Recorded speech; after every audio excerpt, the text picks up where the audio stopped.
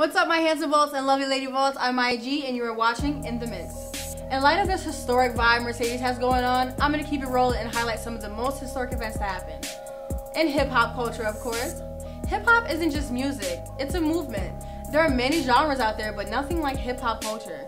There are characteristics of hip hop that you just can't duplicate. Everything else is a carbon copy, never confuse it. Some of the most memorable celebrity feuds have sparked within hip hop culture. From diss tracks and snubs on the red carpet, beefs are all in the territory. Never mind the fact that some of these hip hop artists have become more known for their beefs than their music. Without further chit chat, here are five historic beefs you better teach your kids about in hip hop culture. Our number five spot goes to Nicki Minaj versus Lil Kim. Even though Nicki and Remy are going through it right now, it's not really a top five. That's more so a top 10. Anyway, Nicki and Kim are currently in a cold war as Kim feels Nicki was biting a lot of her swag and flows, which Nicki of course denied and stuck close to her originality claims. Whether you see the similarities in the rap goddesses or not, it's still entertaining. Our number four spot goes to Ice Cube versus NWA. If you haven't seen Straight Outta Compton, the whole concept of this beef was Ice Cube dismembering from the group on the account of their manager who was smuggling money and not paying the group what was owed. Late member Eazy-E, along with the rest of NWA, recorded a diss song to their previous member while Ice Cube was trying to keep matters more private. Of course, Cube retaliated and dropped a diss addressing everything that was meant to be private.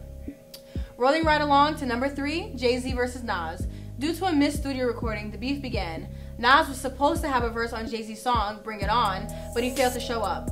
After that, the two began throwing jabs at each other through lyrics such as and I know rap rumors are in the windows. I bring it to you live, lift up your window. Let the public peek in, see your dirty laundry. Y'all don't want me to continue. Ho! Super ugly. Honestly, this one is my favorite of all time. Number two goes to Meek Mill versus Drake. Trigger fingers turn to Twitter fingers, y'all, for real. Meek Mill ignited the feud between the two by ranting about how Drake used ghostwriters on some of his most popping bangers, all because Drake didn't tweet about the album. Even though Drake was on the album. Oh, not to forget how he ranted about this through Twitter.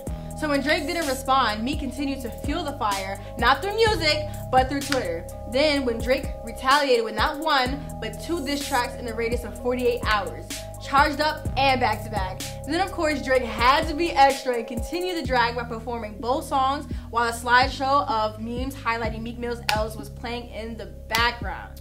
And of course, the number one spot goes to Biggie versus Tupac. Seriously, don't fight me on this one. Undoubtedly the most famous feud of all time and the most tragic to be honest with you. These two started out as great friends and musical icons, but the relationship quickly went south when Biggie released a track called Who Shot Ya, just days after Tupac was shot. Mind you, Pac already accused Biggie of being the culprit. Taking offense to the song, because obviously who wouldn't, Tupac released his own set of tracks and the feud was born. The growing tensions between the East Coast and West Coast music scene didn't really help. Sadly, Tupac and Biggie were both eventually shot and killed by unknown killers just one month apart, and both cases remain unsolved today. Alright, now that I talked your faces off, you have officially been in the mix. Now scram!